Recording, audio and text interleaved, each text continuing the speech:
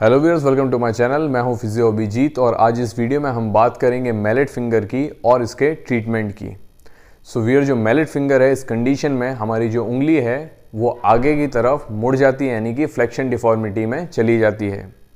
Viewer से जो condition है वो कॉमनली देखने को मिलती है क्रिकेटर्स में फुटबॉलर्स में और बास्केटबॉल प्लेयर्स में। अब बात करते हैं इस इंजरी के मैकेनिज़्म की यानी ये इंजरी होती कैसे है।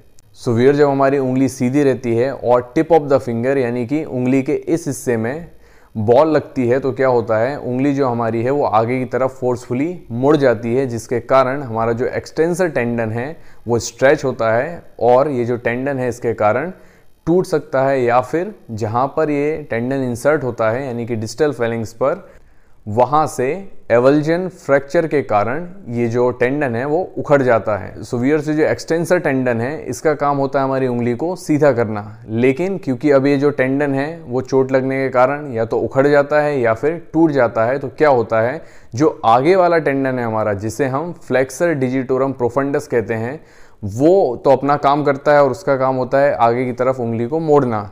तो क्योंकि फ्लेक्सर डिजिटोरम प्रोफंडस, जो कि आगे वाला टेंडन है, वो अपना काम कर रहा है। तो वो उंगली को आगे की तरफ़ मोड़ देता है, लेकिन जो उंगली को सीधा करने वाला टेंडन है, वो अपना एक्शन नहीं करता, जिसके कारण हमारी जो उंगली है, वो आगे की तरफ़ ही मुड़ी रह जाती है। सो व्यूअर्स मेलेट फिंगर में टेंडरनेस यानी कि छूने पर दर्द होता है डिस्टल फेलिंग्स में यानी कि इस हिस्से में, और साथ ही साथ जो पेशेंट है, वो उंगली को सीधा नहीं कर पाता, यानी एक्सटेंड नहीं कर पाता।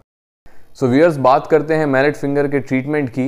तो ट्रीटमेंट से पहले हमें उंगली का एक्सरे निकालना चाहिए जिससे हम पता लगा सकें कि कहीं डिस्टल इंटरफेलेंजियल जॉइंट यानी कि ये जो हमारी उंगली का सबसे ऊपर वाला जॉइंट है वहाँ एवल्जियन फ्रैक्चर तो नहीं है या वहाँ डिसलोकेशन तो नहीं है। यदि एवल्जियन फ्रैक्चर या डिसलोकेशन है और ये जो एवल्जियन फ्रैक्चर या डिसलोकेशन है वो हमारे जॉइंट सर्फेस के एक तिहाई यानी कि वन थर्ड पार्ट को यदि इन्वॉल्व करता है तो ऐसे केस में आपको सर्जरी करानी पड़ सकती है।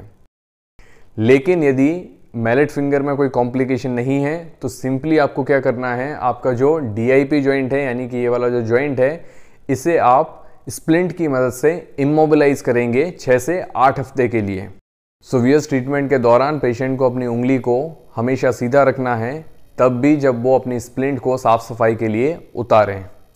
सो व्यूअर्स ये तो था मैलेट फिंगर का ट्रीटमेंट सो व्यूअर्स मैं उम्मीद करता हूँ कि आपको ये वीडियो पसंद आई होगी तो वीडियो को लाइक कर दें, चैनल को सब्सक्राइब कर दें और साथ ही साथ बेल आइकन दबाना ना भूलें ताकि आगे आने वाली वीडियोस की नोटिफिकेशन आपको मिलती रहे।